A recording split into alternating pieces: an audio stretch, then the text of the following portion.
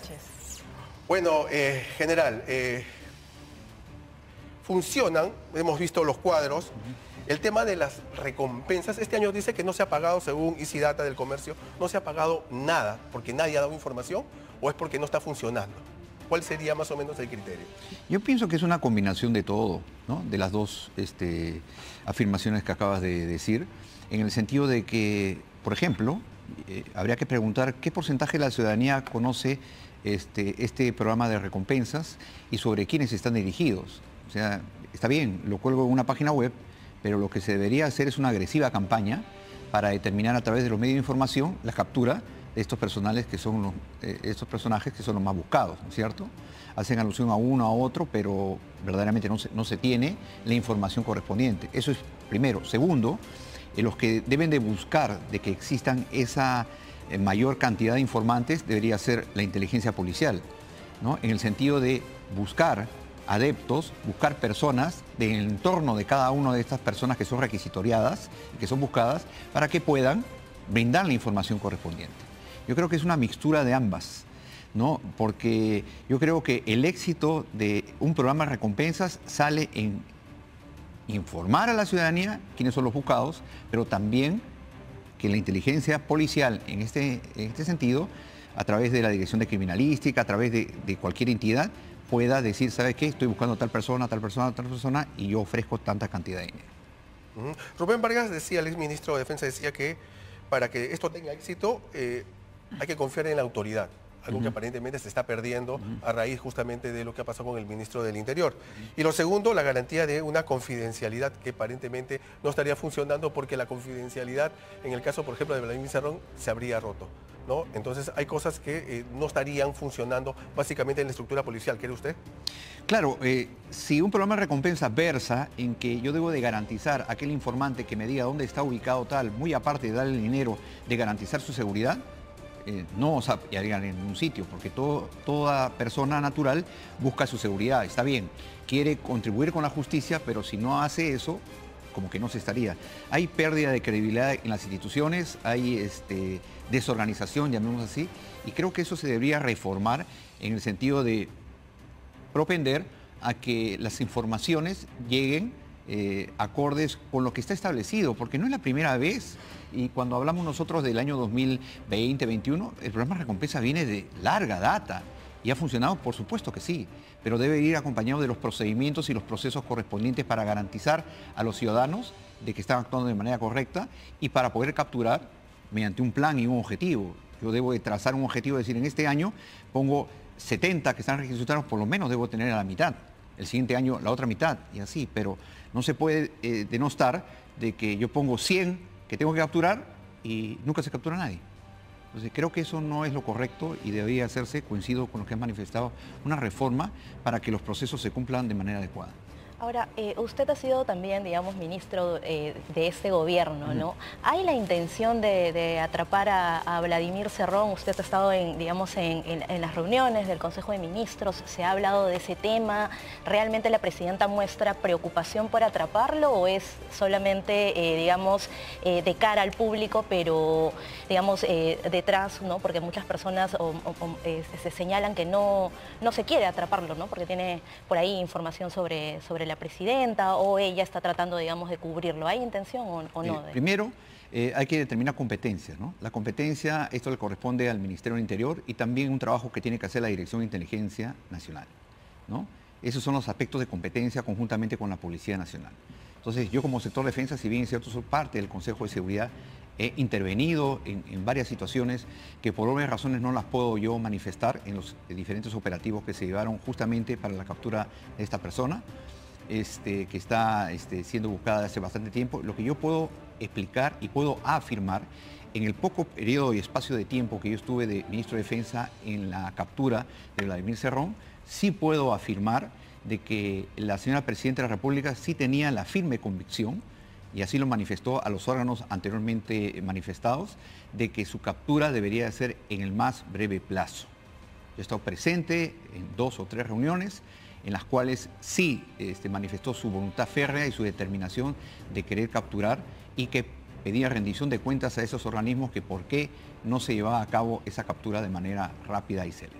Eso es lo que yo podría responder. Usted hablaba también hace un momento acerca de una reforma que se debería Mm. hacer al sistema de capturas y demás, ¿no? Pero ¿cómo en todo caso poder encontrar una sinergia entre el sector interior, que es usted al que refiere, que es la competencia y la Policía Nacional, y el sector al que usted perteneció en algún momento, ¿no? El sector de defensa, porque finalmente son también órganos que deberían trabajar en conjunto para lograr ah, no solamente capturar a prófugos tan, ya tan buscados, entre comillas, como el señor Cerrón, sino también poder mitigar los efectos eh, de cara a las personas, a las, personas, ocho muertos en menos de una semana, a mí me parece bastante llamativo y condenable, ¿no? Entonces, ¿de qué manera encontrar esta sinergia entre ambos sectores?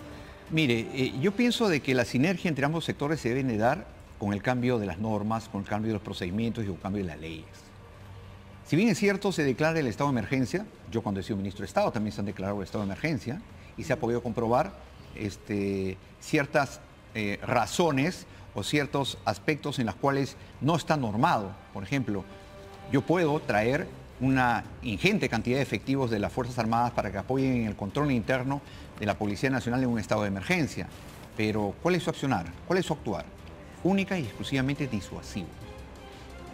Cuando me preguntan qué sinergia puede haber, voy a poner un ejemplo. Hace unos 15 días o hace tres semanas, hubo una propuesta de Fuerza Popular ¿no? de que las Fuerzas Armadas tomen el control de las instalaciones penitenciarias, los centros penitenciarios. ¿Correcto? La idea me parece buena, pero la aplicación debe ser puntual.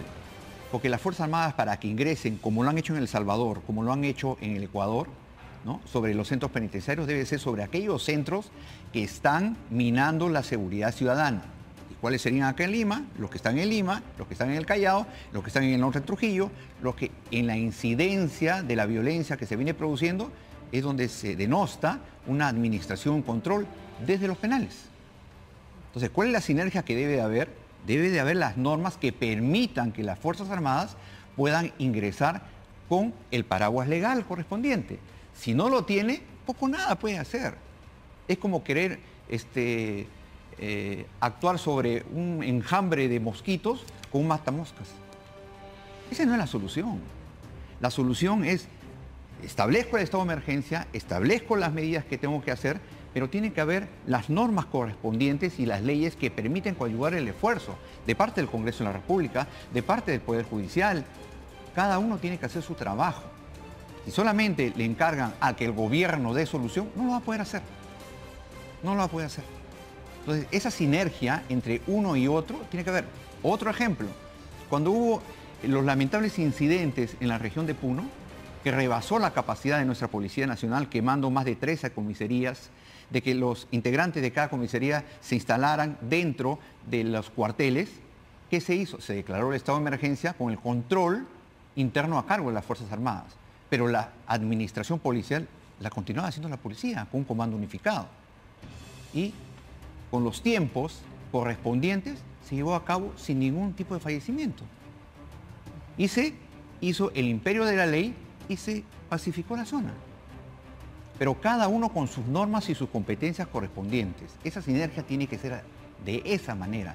Si nosotros vamos a dejar de que solamente sea un problema del Ministerio Interior apoyado por defensa, sin intervención de los otros poderes del Estado, sin intervención de los sectores, no vamos a poder dar solución. Modelos hay en toda la región.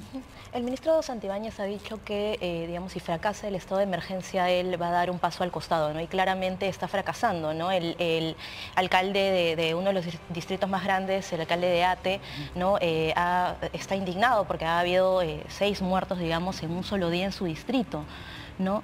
Entonces, eh, y además, eh, bueno, una encuesta de, de la semana pasada del diario El Comercio reveló que eh, la mayoría de la población se siente temerosa de salir a la calle, siente que vive inseguridad, ¿no? Ya es momento, digamos, que eh, dé un paso al costado, que sea removido por eh, la presidenta o que el Congreso tome eh, medidas eh, con respecto a él.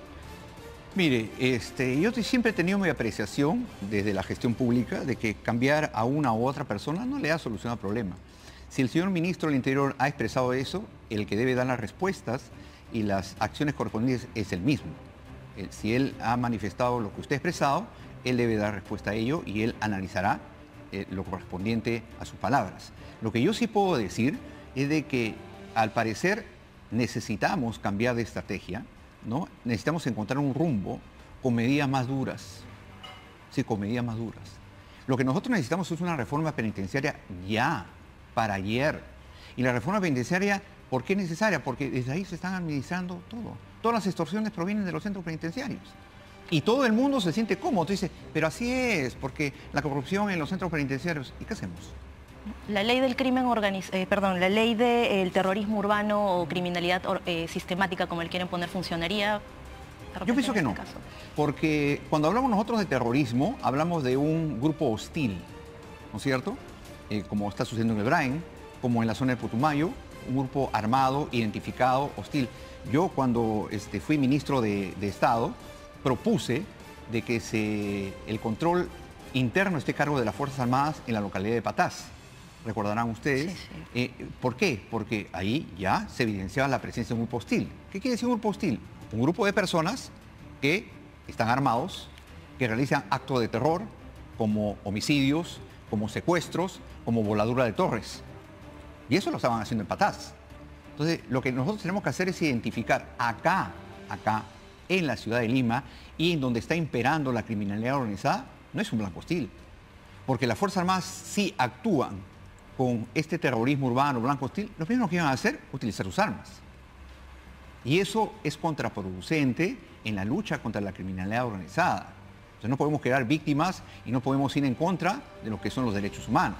Lo que nosotros tenemos que hacer de manera muy directa es capacitarnos, organizarnos, cambiar las leyes, pero por sobre todas las cosas, en ese sentido de, este, del terrorismo urbano, determinar verdaderamente cuáles son las, este, las acciones que debemos de, determinar. Por ejemplo, yo lamento mucho, cuando he sido ministro de Estado, se presentó un proyecto ¿no? en la cual se requería el incremento del personal, ¿no? y uno los tomaron como si fuera este, una acción de que se iba a hacer una guardia pretoriana, se iba a llevar a cabo porque eso permitía. ¿Sabe cuántos licenciados de las Fuerzas Armadas al año pasan después de dos años de formación? Cerca de 20 mil. 20 mil. Y que se van a sus hogares y se desperdicia a ellos. Entonces, con esta ley lo que se requería era captar a este personal para incrementar las acciones operativas de nuestra policía en la lucha contra la criminalidad organizada. Vuelvo a repetir, si vamos a trabajar de manera aislada, dándole la responsabilidad al gobierno y dejando que los otros poderes miren solamente, exclusivamente, por ejemplo, no está funcionando ahorita lo del Ministerio Público, y lo digo con más profundidad.